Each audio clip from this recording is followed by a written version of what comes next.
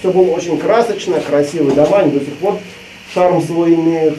Это флюгер одного из зданий, построенного Михаилом Челышовым. Сегодня он хранится в Музее истории города, который носит его имя. Здесь же фотографии, книги, написанные Челышовым. Фрагмент асфальта с завода, которым также владел Михаил Дмитриевич. Челышов родился 26 сентября 1866 года в одном из сел Владимирской губернии. В Самару приехал 15-летним мальчишкой. От простого маляра прошел путь до гласного Самарской городской думы, а затем главы города. В нелегкие для страны годы революции выступал за трезвость нации и борьбу с пьянством. Был уверен, только так можно сохранить сильное цивилизованное государство. Благодаря его стараниям в 1914 году в Самарской губернии был принят сухой закон. Посмотрели, волнений нет, пьянок нет, поножовщины нет.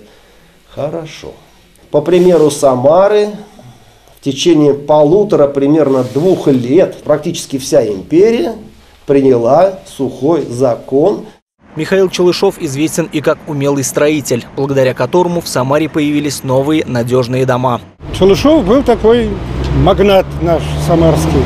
Вот он строил дома, их осталось два. Вот здесь и на этой, на Арцебушевской.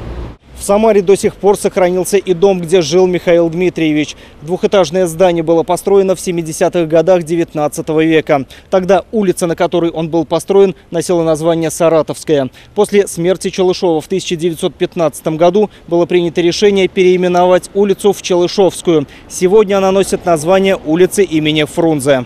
Некоторым зданиям уцелеть все же не удалось. Много лет назад на этой же улице на месте нынешнего банка располагалась известная Челышевская баня. Знаменитые московские сундуны отдыхают. Это была единственная в мире четырехэтажная баня с лифтом.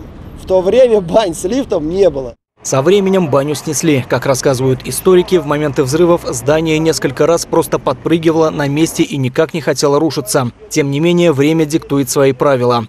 В этом году исполняется 100 лет, как не стало Михаила Челышова. Он был похоронен в Самаре на Всехсвятском кладбище, что до 40-х годов стояло на улице Красноармейской.